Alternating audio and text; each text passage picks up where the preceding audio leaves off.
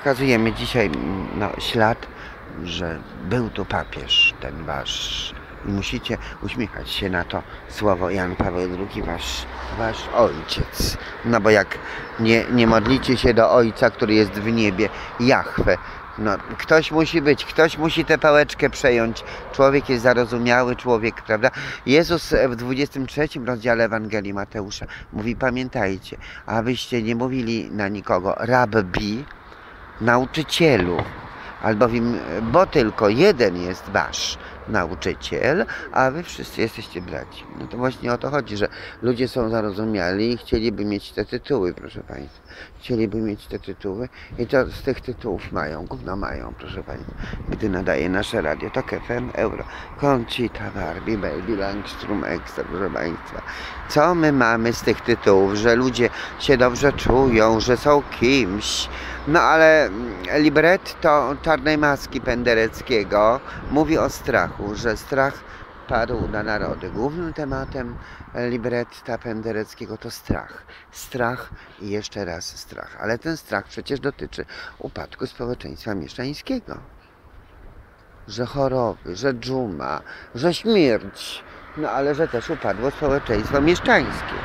Taki dziad z papierosem, który chciałby mieć 10 tytułów i być może nawet już on ma 10-11 tytułów, niech sobie ma, ale potem jak on stwierdzi, że jest nikim, że jest niczym, że y, te tytuły mu nic nie dadzą, nie dają, no to proszę Państwa, się wszystko odwróciło, prawda?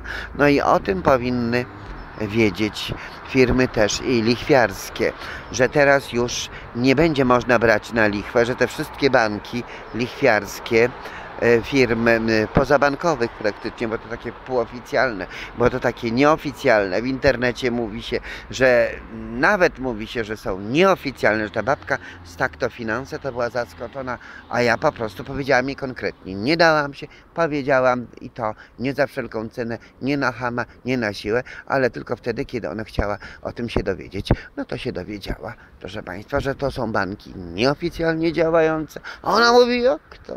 Ja mówię, to tak samo jak i Żydzi, wiesz, że e, rabbi, że rabbi, że rabbi, że rabbi. A co powiedział Jezus oficjalnie?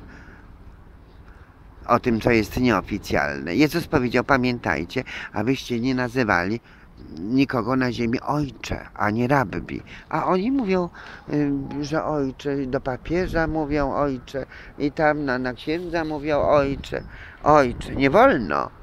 Albowiem jeden wasz tylko jest nauczyciel, Jezus Chrystus, a wy wszyscy jesteście braćmi.